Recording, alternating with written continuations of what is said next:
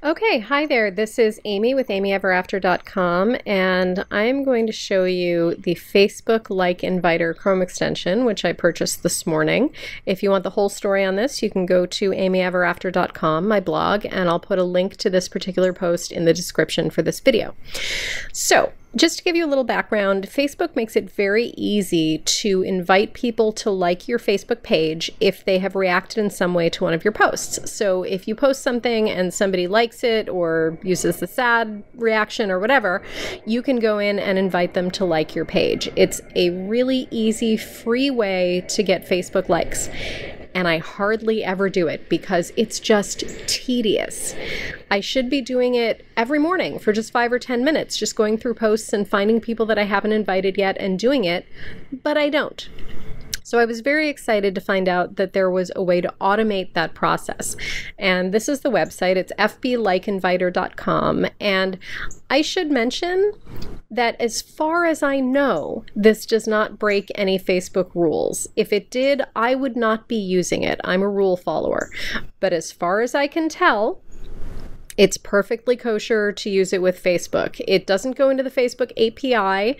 Um, it, it just automates things that you would be doing. It's just clicking and scrolling for you based on what it can see on the page, not anything like inside Facebook. So, as far as I know, you're not doing anything against Facebook rules, but I'm just going to put that caveat in there because I'm not a Facebook expert. So, um, there is a free version which will just go into individual Facebook posts and invite people in those. But I, I wanted it to check all of my posts because, um, you know, every post there's like one or two people who like it that haven't liked my page. So going through and finding all of those would take a really long time, and I just have better things to do. So I spent 19.99 on the forever version, and let me show you how it works. Let's go to my Facebook page. There it is, Amy Ever After. Okay, and um, this is the icon right here for the Facebook Like Inviter. And if you try to use this on anything other than a Facebook page, it just won't work. So um, we're going to click it here. And these are the default settings. And um, this, I think, is is just so it looks more like a human is doing it I'm not sure why that's necessary if it doesn't break Facebook's rules, but we're going to go ahead and, and leave these random pauses in there so that it doesn't look like a computer is doing all of this work. Um, this I don't want it to do. That means, I don't know, maybe if you have like a, a post that went viral, um, it, you don't want it to stop looking for people after you know after a little while. You want it to keep going deeper into that post and keep looking for people. So i am not going to click on that. This is the main thing that i'm here for. I want to invite the post likers to like my page. Um, I definitely do not want to auto like it when people have shared my posts, and I definitely do not want it to comment when people have have uh, shared my posts. I like to do that stuff myself. I'm just trying to automate the invites. So that's it. We're going to go to the Publishing Tools tab. I'm just going to show all of my posts. And we're going to click Run and you'll see that it will just open up each post. It will look at who has liked it. It will look at who has not been invited yet, and it will invite these people. Now, I'm going to go ahead and skip forward in this video quite a bit because I ran this already this morning and I let it check about 20 posts and it invited about a dozen people.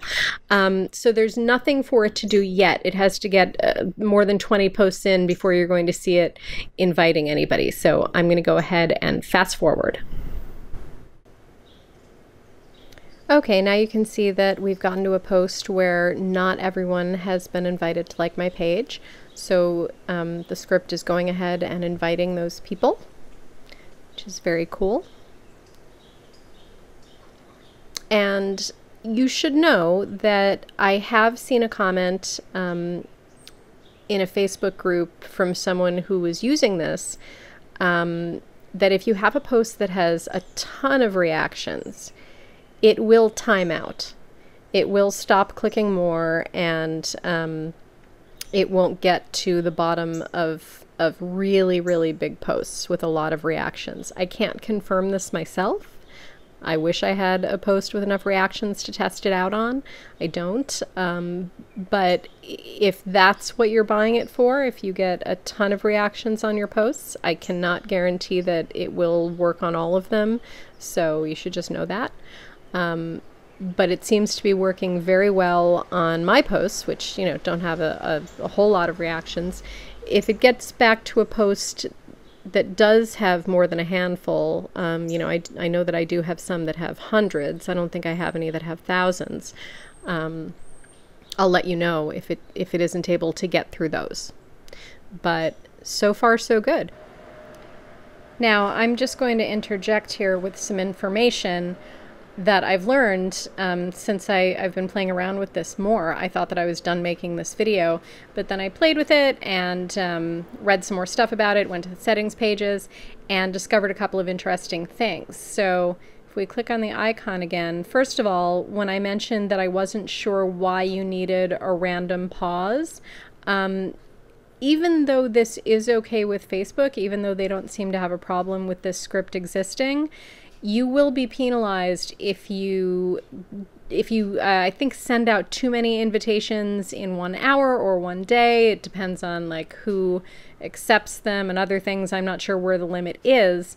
Um, but slowing it down and randomizing it uh, it all contributes to trying to ensure that you don't get penalized by Facebook and um, you're not stopped from inviting people for a while. So just keep that in mind. If you find yourself getting penalized, you might want to increase these pauses or, you know, only run this for a little while at a time.